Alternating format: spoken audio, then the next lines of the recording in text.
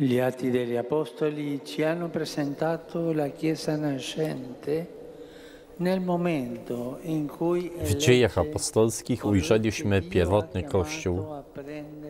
Ten Kościół w chwili, kiedy wybiera tego, który, którego powołał Bóg, aby w kolegium apostołów zajął miejsce Judasza.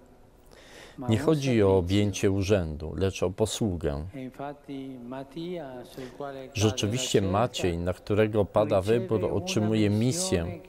Misję, którą Piotr definiuje w następujący sposób. Trzeba więc, aby jeden stał się razem z nami świadkiem Jego zmartwychwstania, zmartwychwstania Chrystusa. Słowami tymi podsumował znaczenie przynależności do grona dwunastu. Oznacza to bycie świadkiem zmartwychwstania Jezusa.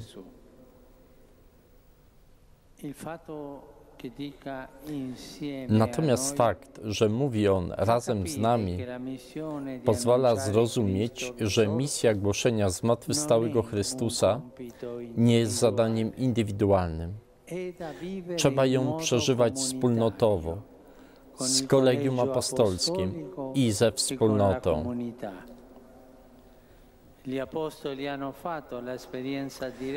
Apostołowie przeżyli bezpośrednio i bardzo zadziwiające doświadczenie zmartwychwstania. Byli naocznymi świadkami tego wydarzenia. Dzięki ich autorytatywnemu świadectwu wielu uwierzyło, a z wiary zmartwychwstałego Chrystusa zrodziły się nieustannie, rodzą się wspólnoty chrześcijańskiej.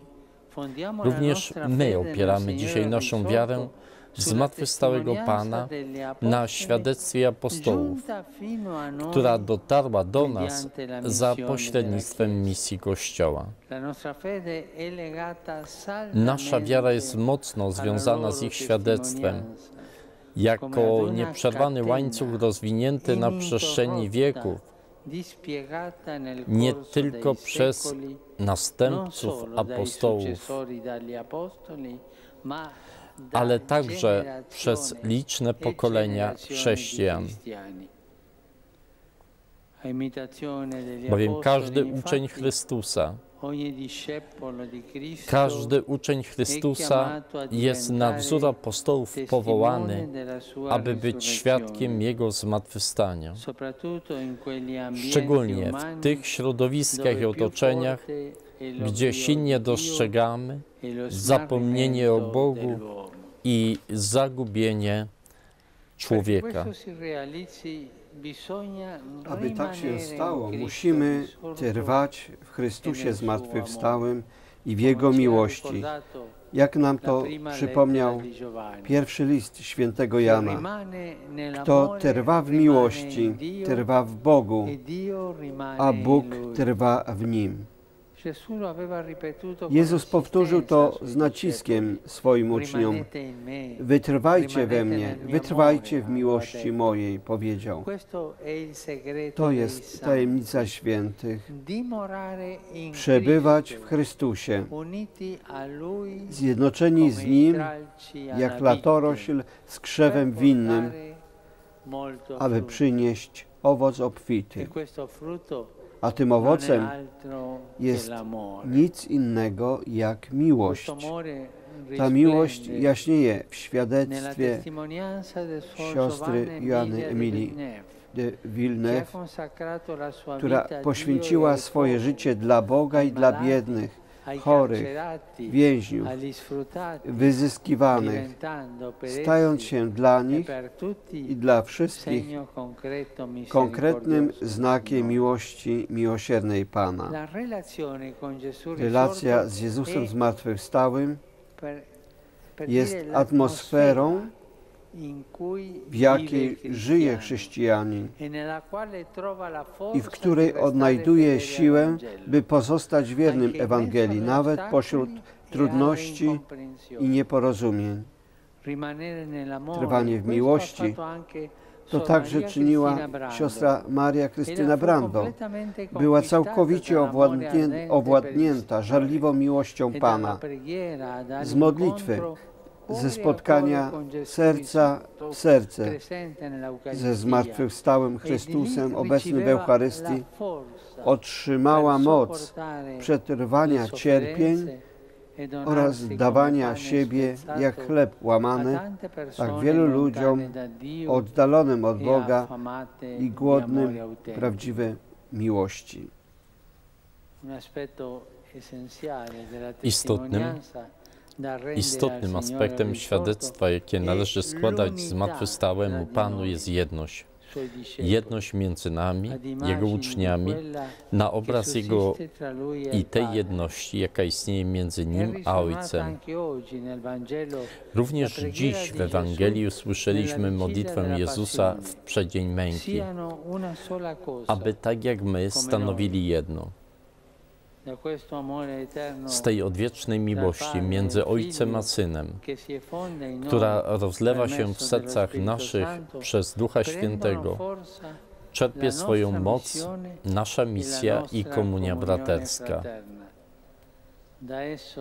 Z niej wypływa nieustannie na nowo radość naśladowania Pana na drodze Jego ubóstwa, jego dziewictwa i posłuszeństwa, ubóstwa.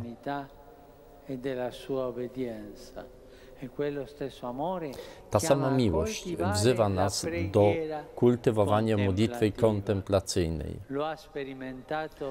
Wybitnie doświadczyła tego siostra Maria Baudry. Baudry. Ta kobieta pokorna niepiśmienna.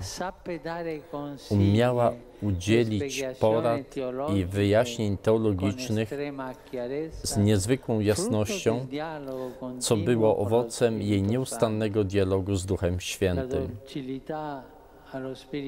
Posłuszeństwo Duchowi Świętemu uczyniło ją także narzędziem spotkania i komunii ze światem muzułmańskim. Podobnie siostra Maria Alfonsina Daniel Gatas dobrze zrozumiała, co to znaczy jaśnieć miłością Boga w apostolstwie, stając się świadkiem łagodności i jedności. Daje ona nam jasny wzór, jak ważne jest branie odpowiedzialności jedni za drugich i życie dając i służąc jedni drugim. Trwanie w Bogu i Jego miłości, aby głosić słowem i życiem zmartwychwstanie Jezusa, świadcząc jedność między nami i miłość wobec wszystkich. To czyniły cztery ogłoszone dziś święte. Ich jaśniejący wzór jest także wyzwaniem dla naszego życia chrześcijańskiego.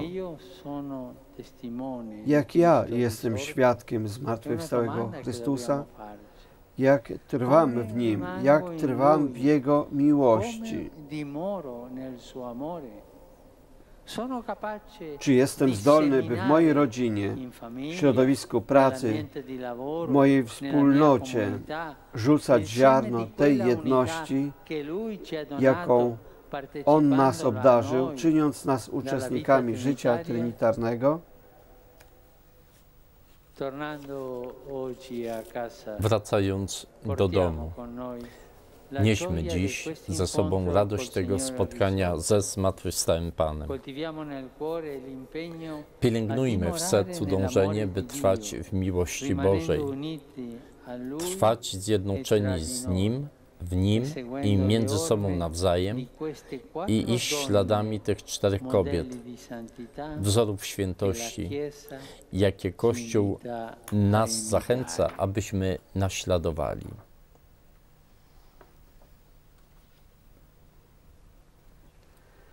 Była to homilia Ojca Świętego Franciszka w czasie mszy świętej kanonizacyjnej w uroczystość niebo wstąpienia pańskiego.